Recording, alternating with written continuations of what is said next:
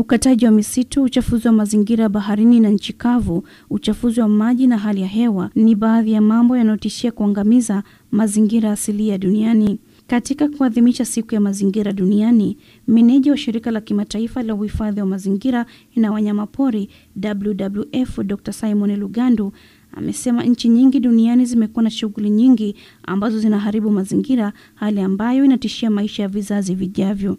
Mabadiliko ya tabia nchi yanaharibu yale makazi e, bora ya samaki, kwa hiyo wanashindwa kuzaliana vizuri.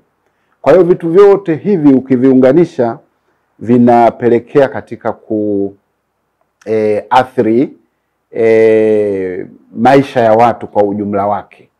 Wanakuwa hawawezi kutengeneza kipato, wanakuwa hawawezi kuzalisha e, lakini pia mazingira yenyewe yanakuwa yanaharibika, hivyo yanashindwa kuwapa e, watu na viumbe vingine e, mazingira ambayo ni bora kwa, kwa wao kuishi.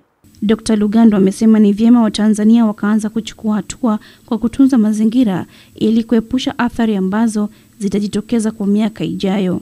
E, uhifadhi wa mazingira unatakiwa uendane na faida, watu au hata serikali iweze kunufaika na rasilimali zilizokuwepo, na tunapokuwa tunahifadhi mazingira vizuri, tunatoa nafasi kubwa zaidi ya kupata faida kutoka kwenye rasilimali tulizokuwa nazo. Kwa maana hiyo, wito wangu mkubwa ni kuwataka jamii, kuwataka serikali, kuzitaka e, jumuiya ambazo sio za kiserikali kushirikiana kwa pamoja na kuwekeza nguvu za kutosha katika kuhifadhi rasilimali za mazingira zilizokuwepo ili mwisho wa siku e, rasilimali hizi ziweze kutunufaisha e, katika maisha yetu ya kawaida, lakini pia katika shughuli zingine za kimaendeleo. Wananchi wana wajibu wa kutunza na kuhifadhi mazingira kwa sababu ustawi wa viumbe hai akiwemo binadamu unategemea mazingira mazuri. Mazingira yanapokuwa mazuri, yanaponawili, basi naamini hata binadamu sisi pia inakuwa tunanawili, ila mazingira akiwa mabovu ni kwamba inakuwa ni tofauti, inakuwa si rafiki kwa mwanadamu. Kwa hiyo siku zote mwanadamu anategemea kile ambacho kinachomfanya yeye kwanza apumue vizuri, hususani miti.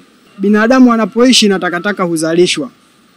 Kwa maana hiyo, ili mazingira yetu yawe safi, basi lazima takataka ziwekewe sehemu maalumu ya kuhifadhiwa. Maadhimisho ya siku ya mazingira yanatoa fursa kutafakari juu ya mazingira na kuweka mikakati mizuri ya kukabiliana na mabadiliko ya tabia ya nchi. Kauli mbiu ya mwaka huu ni tutunze mazingira ili tukabiliana na mabadiliko ya tabia ya nchi.